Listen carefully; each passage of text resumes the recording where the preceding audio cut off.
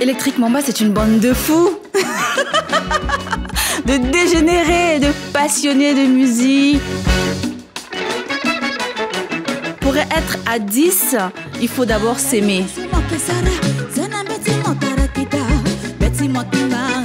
Avant de faire partie de Electric Mamba, j'étais d'abord Idil Mamba. J'ai rencontré Electric Mamba, j'avais envie de, de, profiter de cette énergie-là aussi, tu vois, de sortir de mon, de mon univers et euh, de, de, m'enrichir aussi d'autres choses.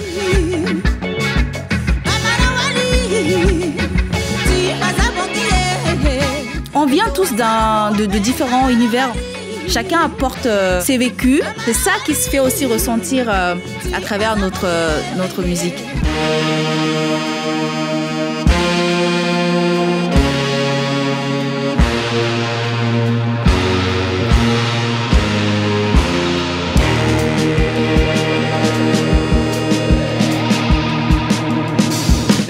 Spectacle Mamba, c'est un moment unique. Voyageant à travers des quartiers, de la République centrafricaine à travers plusieurs émotions. Il y a un mélange de gaieté, de bonne humeur. Quand on est sur scène, ça se voit qu'on prend du plaisir. C'est quelque chose qui est naturel. On a envie de, donner aux gens, on a envie de partager parce que on peut pas garder tout ça pour nous.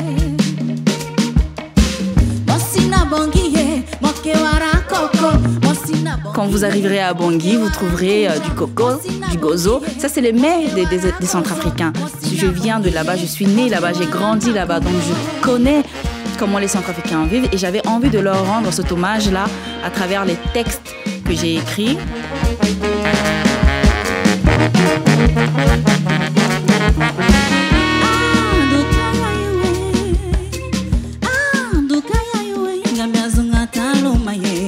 Un plaisir pour moi de chanter en sango et de voir que les gens réagissent. Et c'est également un combat pour moi, un combat que je mène depuis un moment déjà pour faire connaître cette langue-là, la valoriser, même si elle est parlée seulement en Centrafrique, j'avais envie de la partager au monde entier.